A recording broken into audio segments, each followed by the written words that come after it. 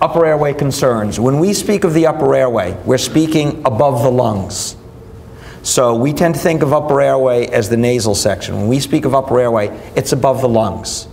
And um, we're looking at the nasal passages, the mouth, the oral cavity, the nasopharynx, the velopharynx, which is hard palate uvula. Not a lot of people use the term velopharynx. Some people do, some people don't. But they tend to use nasopharynx, oropharynx, and hypopharynx. So if someone uses the term velopharynx, at least know that that's that area, hard palate um, to the uvula area um, in the throat. So you're looking at the nasopharynx up there, the oropharynx behind the oral cavity, and the hypopharynx lower. The reason these become important is because the upper airway resistance mainly occurs in the nasopharynx and the upper oropharynx, and that's a partial blockage. You've got tonsils and adenoids there restricting the inflow of air. Then upper airway obstruction, actual blockage, usually occurs more in the oropharynx and the upper laryngopharynx. So you're dealing with resistance being a little higher. The actual blockage is the tongue um, blocks the airway and the airway collapses in a slightly lower region. So again, nasopharynx, upper oropharynx, your concern is resistance, oropharynx and upper laryngopharynx, obstructions due to the tongue collapsing and collapse of the airway.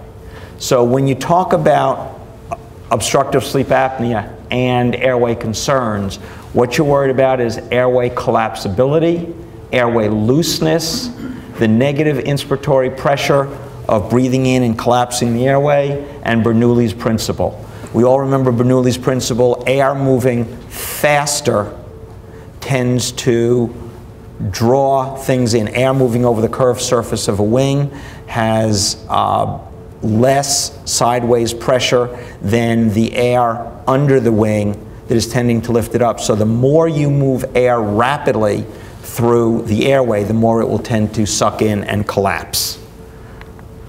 Um, obstructive sleep apnea. Deeper levels of sleep, the decreased muscle tone to the airway muscles and the, and the tongue, the airway muscles become more relaxed and the airway is more collapsible when someone breathes in. Bernoulli's principle, narrow airway, air moving faster, sucks the airway closed even more. Um, and very often you'll have the airway totally collapse decrease in airway volume, you decrease it a little bit, increase the velocity, increase the eddy currents and the turbulence, you increase the resistance. So not only are you getting less air in, you're snoring more, and it requires more effort to breathe in to inspire. So people will wake very tired. Increased airway resistance, it's harder to breathe in, the airway collapses. In dental treatment, think airway. When the joints are seated and the muscles relax, the airway is more patent. You affect the hyoid bone position. You're giving room for the tongue. If you're decreasing the vertical dimension of a patient with ortho, if they're a, uh, a high VDO patient, and with, with ortho, crown and bridge, dentures, you're decreasing the vertical dimension, then expand the arches laterally. Give room for the tongue so it's not forced to retract into the throat. If you're retracting the anteriors, try to increase the VDO or expand laterally. So your thoughts with ortho should be to enlarge the airway, widen and expand the arch, and try to avoid bicuspid extractions. Between the number of bicuspid extraction cases we've done in the past several decades and the increased obesity, we're having a, an absolute epidemic of sleep disorders. Facial form, Obviously, a class one is going to be normal. Class three patients really tend to have large airways, and the class twos are going to be your problem patients. So the concern is, is there room in the mid-face, lower face, and neck for the airway size? Tongue, major culprit. The genioglossus muscle relaxes during sleep. For some people it happens gradually, for some people it happens suddenly and there are different levels of sleep for different individuals at, to, at which they lose tongue activity. The tongue and obesity. The tongue itself will have more, more fatty tissue in the base. They'll, it will be larger in size. The muscles will not work as well.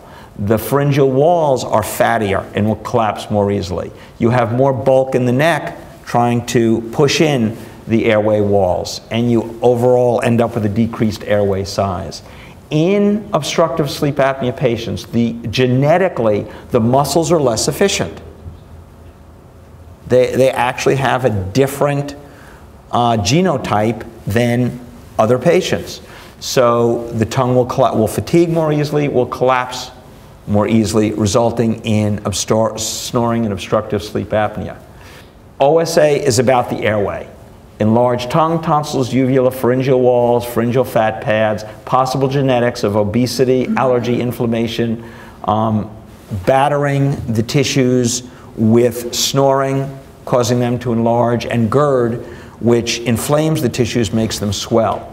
So very often your, an overall thought to your airway treatment is treat the airway, appliance or CPAP, weight loss is essential, uh, allergy meds to decrease swelling of the uh, tissues, Medrol do dose pack to decrease the swelling from allergies, battering by snoring, and, um, and GERD, which will inflame the tissues and swell them, and medications for the GERD to allow the tissues to settle.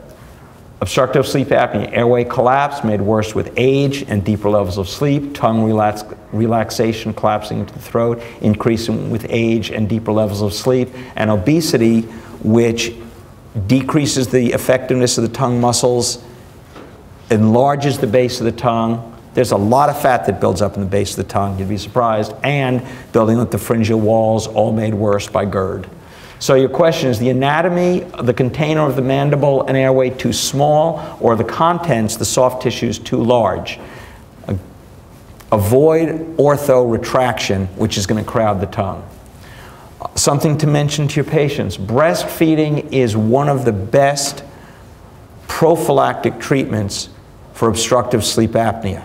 So the infants that are breastfed de develop the proper tongue position and tongue use and swallowing index. They develop the proper palatal form. They develop, develop arch form more the way it should be. So your airway is developing normally and they decrease snoring and a lower incidence of obstructive sleep apnea. The baby's healthier, you're not getting as many allergens, dairy, rice, whatever, increasing congestion. So breastfeeding does a lot for the health of the child.